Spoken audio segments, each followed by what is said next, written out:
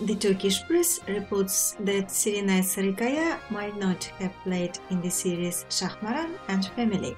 Other actresses were originally chosen for the lead roles in these TV shows. Why did the producers change their minds?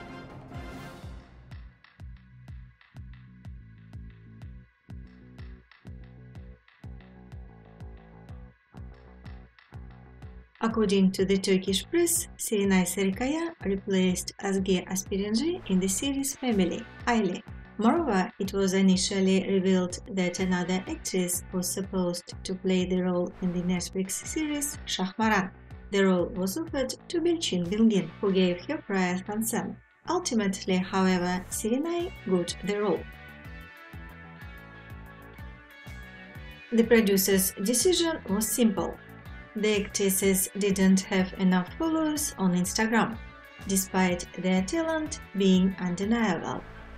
Popularity won out. It should be noted that the producers made the right choice with the series Şahmaran. Serenay was clearly in her element, and the image of a half woman, half snake, created by the scriptwriters, perfectly suited her how successful her collaboration with Ayaprim and Kıvanç Tatlıtuğ will be, the audience will find out in Tuesday, February 14th, when the first episode of the series Family is released on screens. We'll follow developments. Stay tuned and don't forget to subscribe to our channel.